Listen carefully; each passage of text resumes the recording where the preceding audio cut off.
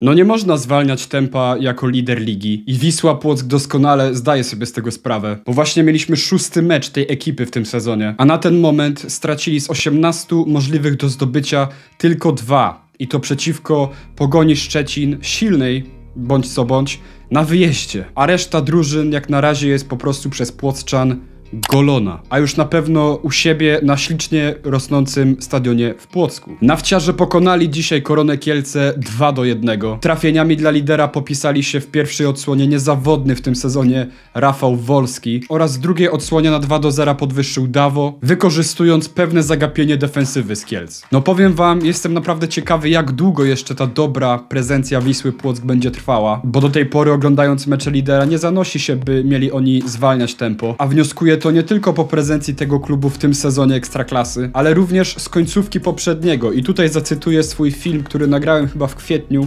y, czyli 30. kolejka poprzedniego sezonu mecz Wisła Kraków, Wisła Płock, wynik 3 do 4. Oto fragment. I mam teraz taką prośbę do nawciarzy.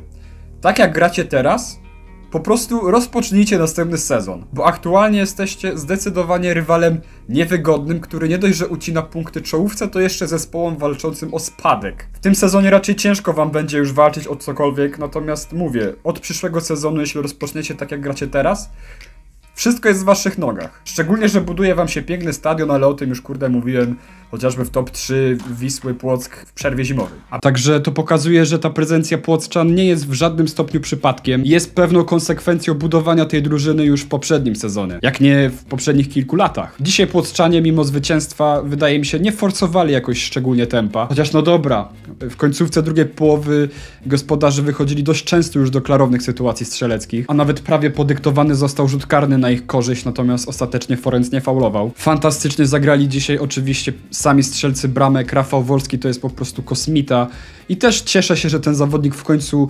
pokazuje to, na co go było zawsze stać, a nie siedzi i leczy kontuzję. Furman dzisiaj genialne zawody, to samo blok defensywny, nawet Gradecki w bramce. Stracił oczywiście dzisiaj bramę, natomiast było to spowodowane rzutem karnym. No i dzisiaj 2 do 1 z Beniaminkiem, ale tak czy siak, spoglądając w tabelę ekstraklasy, do Imponuje Płock. Na ten moment ta ekipa ma 16 punktów i bilans bramkowy, uwaga, 18 do 5. Więc na ten moment ten zespół ma aż 5 punktów przewagi nad drugim miejscem, ale to się oczywiście może zmienić, bo nie rozegraliśmy jeszcze pełnej szóstej kolejki. Aha, no i na ławce trenerskiej mieliśmy dzisiaj taki całkiem fajny smaczek, bo yy, Stano wygrał ze swoim ulubionym trenerem chyba, Leszkiem Ojrzyńskim, który notabene jeszcze niedawno był w Płocku i dobrze go tam wspominają. I teraz jeszcze takie zdanie podsumowujące grę Wisły Płock w tym meczu, Oglądajcie Płosczan, po prostu, nawet postronnie widzowie, serio. A jeśli chodzi o Beniamika z Kielc, to wydaje mi się, że ten zespół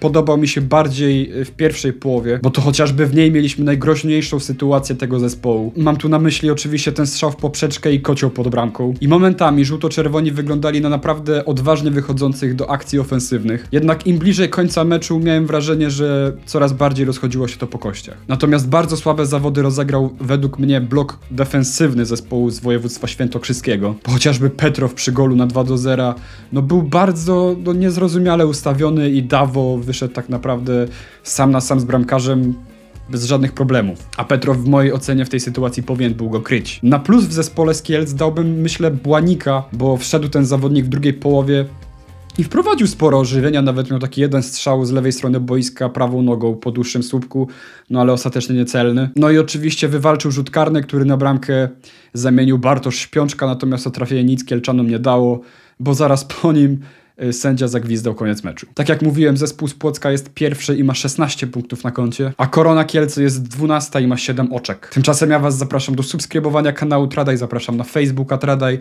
y, nie zapraszam na Instagrama Tradaj i zapraszam Was do posiadania klasycznie dobrego humoru i nie wiem, no, życzę Wam naprawdę wszystkiego dobrego. Uśmiechajcie się po prostu, no. Po co tracić czas na przejmowanie się i smucenie? Dzięki za uwagę i cześć.